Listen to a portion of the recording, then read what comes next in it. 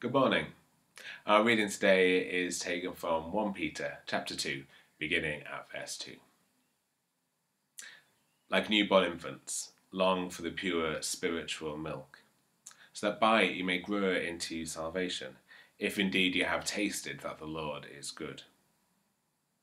Come to him, a living stone, though rejected by mortals, yet chosen and precious in God's sight and like living stones, let yourselves be built into a spiritual house, to be a holy priesthood, to offer spiritual sacrifices acceptable to God through Jesus Christ.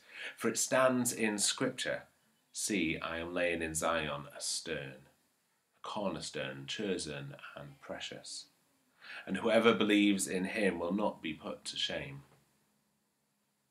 To you, then, who believe, he is precious. But to those who do not believe, the stone that the builders rejected has become the very head of the corner, and a stone that makes them stumble, and a rock that makes them fall. They stumble because they disobey the word, and they were destined to do. But you are a chosen race, a royal priesthood, a holy nation, God's own possession in order that you might proclaim the mighty acts of him who called you out of darkness into his marvelous light. Once you were not a people, now you are God's people. Once you had not received mercy, but now you have received mercy. This is the word of the Lord.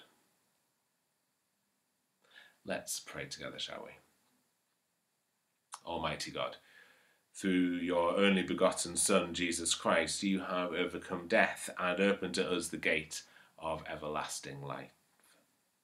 Grant that as by your grace going before us, you may put into our minds good desires, so that by your continual help we may bring them to good effect.